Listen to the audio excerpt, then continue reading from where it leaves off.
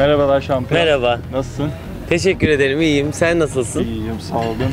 Şampiyon oldunuz. Evet. Neler hissediyorsunuz? Ee, neler hissediyorsun? Çok tuhaf. Yani şu an hiçbir şey hissetmiyorum. Ee, o kadar e, yorgunum ki gerçekten mental açıdan. Şu an sadece e, aileme ve sevdiklerime kavuşmanın mutluluğunu yaşıyorum. Ee, başka hiç böyle değişik bir duygu hissedemedim. Hatta yani eve gittiğimde e, kupa bana, ben kupaya baktım. Yani saatlerce öyle bir bakışmamız oldu. Sonra zaten uyudum. Dün oldu her şey. Daha böyle idrak etme sürecindeyim bir şeyleri. Daha özümseyemedim. Süreci anlatabilir misiniz? Çünkü 5 ay çok zorluklar yaşadınız. Ee, yani bunu adadayken de söylüyordum. Ee, anlatılmaz yaşanır.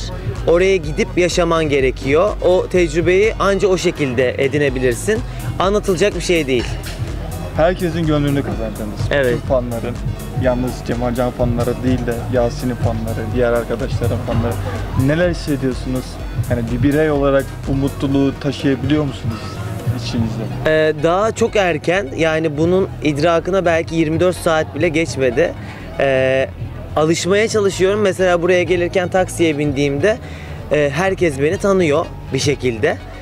Ee, ama ben kimseyi tanımıyorum ve şu an bulunduğumuz süreçte bir pandemi süreci yaşanıyor ve bi- biz bundan habersizdik. Yani kısıtlı bir bilgimiz vardı ama sürecin bu şekilde olduğunu bilmiyorduk. Yani ona alışma adaptasyonu yaşıyorum. Ee, herkese sarılmak istiyorum ama sarılamıyorum. Ee, bir şekilde bunun ortak e, noktasını bulmam gerekiyor sevenlerimle. Onun karmaşasındayım yani. Alışmaya çalışıyorum hayatıma. Normal hayatta da mı bu kadar mı duygusalsınız yoksa Survivor'ın verdiği bu baskı aç, açlık baskısından dolayı mı? Aynı şekilde yani ben neysem orada da o oldum. Ee, bence karakterimden ödün vermediğim için e, bu kadar kitlelere hitap edebildiğimi düşünüyorum.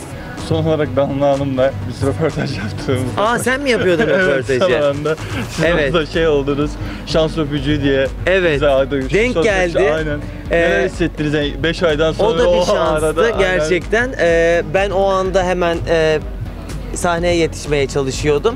Bir anda Damla'yı gördüm orada. Refleks olarak o kadar e, aydan sonra hemen bir öpücük kondurup ondan sonra tekrardan gittim. Zaten top 5'e girdi o şey, o kare. Bak haberim bile yok. Gerçekten haberim bile Damla yok. Hanım da son olarak şunu dedi. Hiç kimseye Cem Harcan'ı paylaşmam. Bununla ilgili bir şey söylemek ister misiniz? Çok Hani değişik bir Nisa'ya hiç paylaşmam dedi. çok değişik bir dostluğumuz var. Paha biçilemez e, anılarımız, hikayelerimiz var. O yüzden doğa. Son, birbirimizi son olarak da bir de dayıcın sözü tuttu dediniz. Evet. Çok duygulandık herkes. Evet. Yani onu söylediğinizde şey yeğeninizin size sarılmasında neler hissettiniz? Yani sonunda bitti o an mı? Evet, tarif edilmez bir duygu. Bu e, Survivor başından sonuna kadar hem arkadaşlarıma verdiğim sözleri tuttum, hem kendime verdiğim sözleri tuttum. Geriye kalan bir sözüm vardı. O da yeğenime o kupayı götürmekti. E, ben elimden gelenin en iyisini yaptım son ana kadar. E, takdir halkındı. Halk da bana bu sözümü tutmamda yardımcı oldu. Hem O yüzden teşekkür Survivor ediyorum. oldunuz son olarak tutun gidiyoruz. Bir de Mustafa Ceceli'nin bir de Samsun e, Demir'in size Evet ama şey çok oldu. erken daha bu şeyler için. Daha bilmiyorum şu an Yok, hiçbir ya şey o an bilmiyorum o ben. teklifi duyduğunuzda ne hissettiniz? Mutlu yani? oldum dışarıdan güzel bir haber almak bizi orada çok mutlu ediyordu yani. Çünkü kimseyle iletişimimiz yok. Sadece aynı karakterleri görüyorsun. Aynı oyun arkadaşlarını görüyorsun. Dışarıdan böyle bir haber almak beni çok mutlu etti.